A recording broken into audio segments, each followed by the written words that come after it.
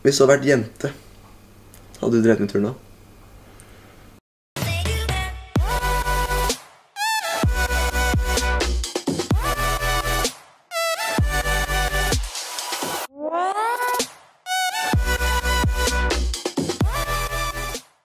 Nå er vi hjemme hos Espen Jansen. Som dere kanskje har sett i den forrige videoen, så jo, er jo jeg med han en hel dag. Han skal vise meg veien for hvordan bli eh, Norges eh, mest, best trente 50-åring. Og jeg tror vi kan stryke 50-åringen nå, faktisk. Og jeg har noen kjappe spørsmål til Espen som, skal, som jeg har valgt å kalle Ti kjappe med Espen Jansen.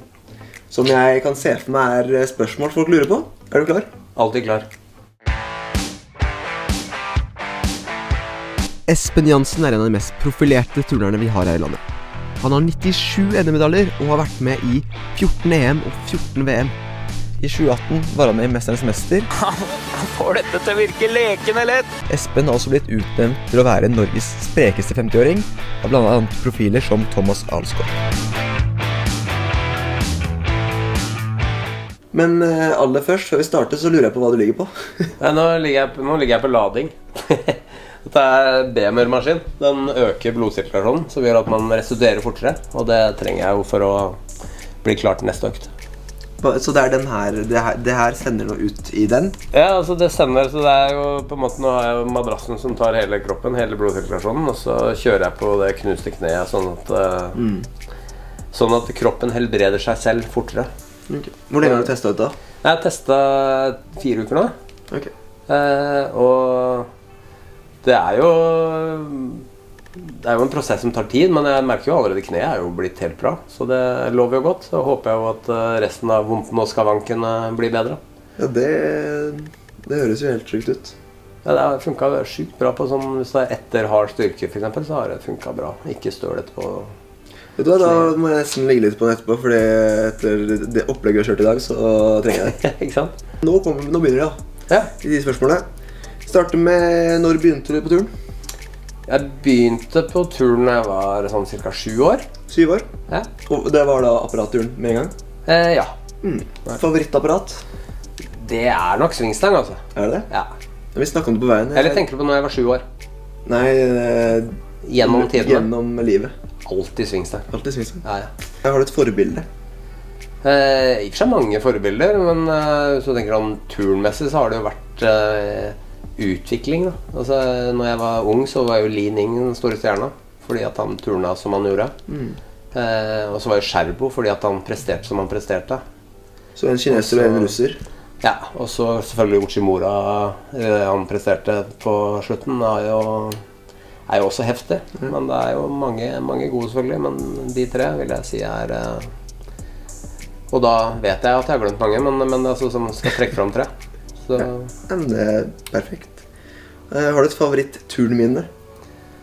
En Eh. konkurranse eller samling eller en reise? Altså, det, Når du har vært med så lenge som jeg har, så blir det så innmari mange. Mm. Og så husker man gjerne de første eller de siste. Men eh, så, sånn sett så blir det vanskelig å si at akkurat den turen, akkurat den konkurransen, et eller Men det er sånn. ikke én som skiller seg litt ut? Nei, det er mange som skiller altså. Mange fantastiske trommene. Så der er det nesten umulig å sette én. Altså. Det er jo greit, det. Livrett. Livrett, det må jo bli biff. Biff. Ja. Hvilken eh, idrett hadde du valgt hvis du ikke var turn? For du har jo drevet med mye rart. Jeg har jo drevet med mye, rart- mye rart. Eller rart, det er jo ikke rart. Det er mye gøy. Ja. jeg tror egentlig all idrett er gøy når man eh, gjør det. Jeg har prøvd masse forskjellige idretter og syns jo det meste er gøy. Og har vært ganske god i mange år, men, eh, men jeg er veldig glad for at jeg har valgt turen. Altså. Ja. Så heldigvis så var jo jeg god tidlig i en alder, eh, så en tid som gjorde at jeg ikke tenkte på noe annet enn hva som er gøyest. gøyest. Eh, hadde man valgt seinere mellom turn og fotball, så hadde man kanskje tenkt økonomi. Eller. Så jeg valgte idrett ut fra hva som er desidert det kuleste å gjøre, og det du ikke kan gjøre ellers. Og Derfor så valgte jeg turn, fordi at eh, fotball kan du spille i friminuttene og etter skolen og før trening og etter trening. Og tennis og volleyball og basketball og bordtennis og alt mulig. Men eh, på ski kan man gå på når som helst. Men turn, da må du gå på turn. Det er jeg helt enig. Ok, Neste den er også litt seriøs. Hva mener du er den viktigste egenskapen for å lykkes i idrett? Så ikke bare turn, men idrett. Er det én? Eh, Altså, det, litt tålmodighet, kanskje. Tålmodighet det blander med guts. Så det er jo liksom en sånn hårfin balanse. da. Ja. Fordi at du må jo ha Du må jo ha et hode som skjønner at du må jobbe hardt og, og målbevisst. Eh, og så må du samtidig være tålmodig. Det har jeg hørt eh, et uttrykk. det Å skynde seg langsomt. Skynd deg langsomt var eh, skolemotto på min videregående skole. Var det det? Lillestrøm. Ja, men det, det er Og det er ikke så dumt, det. altså Skynd deg langsomt. Men uh, jeg har ikke vært så god på det. Men uh, Det er ikke for sent, da. tenk, tenke først og gjøre etterpå. Men uh, nei, tålmodighet er nok det lureste. Og så kommer du langt på guts Mm. Stolteste prestasjon. Eh, ja, det er jo også sånn vanskelig når du har vært med i 100 år. Eh, jeg er jo den utøveren i verden som har deltatt i flest VM Det er ganske sjukt. fortsatt. Hvor mange er det? Det er bare 14, men det er jo fordi at uh, det forbundet begynte å kåle det til med å si at jeg var for gammel, mens jeg egentlig var god nok. Ja. Ellers hadde jeg vel vært med i VM ennå. Og så lurer jeg på hvem som har vært uh, din favorittklubbkamerat gjennom tidene. Favorittklubbkamerat? Eh, altså det har jo gjennom tiden vært alltid spesielt én viktig til enhver tid. Ja. Eh, og så er det jo da hvem var viktig i den tiden hvor man kanskje trente hardest og best. Og det eh, sånn som Flemming Solberg betydde jo veldig mye for meg, Fordi at da var jeg god og trente mye aleine, og han var up and coming og ung og lovende. Så da når vi begynte å trene sammen, så på en måte ga jo han meg litt uh, ungt pågangsmot. Og han var veldig tålmodig, og det var jo ikke jeg, så det var en god match sånn sett. Men det spørsmålet sikta egentlig mot meg, men uh, du, du forsvarte den uh, det svaret så godt, så det er greit. Hva er det som har gjort at du har klart å holde på så lenge? Uh, altså, det er jo Åge Storhaug er jo ganske god forklaring. Åge og meg var et bra team, og vi hadde det fantastisk morsomt på tur og trening og, og fritid.